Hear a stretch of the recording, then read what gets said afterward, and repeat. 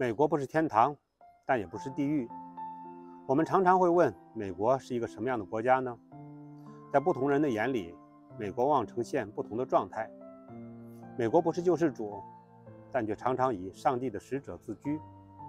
美国很自私，但有时候却又穷大方。美国是一个国家，但却更似一个集群。这就是美国。一个外人很难理解。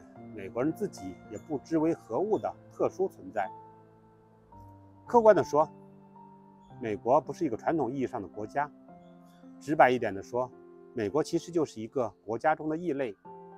鉴于此啊，在看待、分析、判断美国时，不能用国家的概念来衡量，也不能用基于历史的惯性思维来预判美国的行为方式和美国的发展，以及美国未来的命运。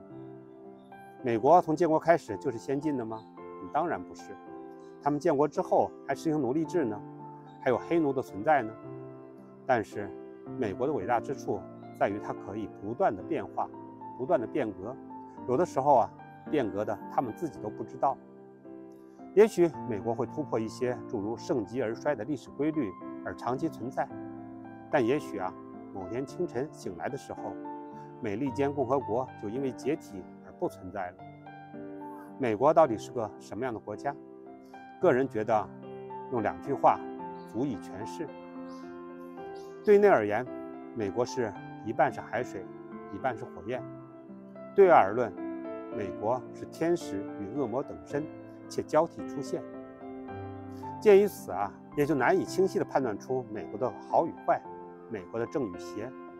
其实，就历史、现实。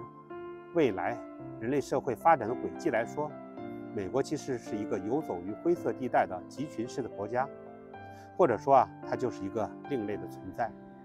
但是啊，正是因为这个另类的存在，才可能获得一个走出轮回的未来的解决方案。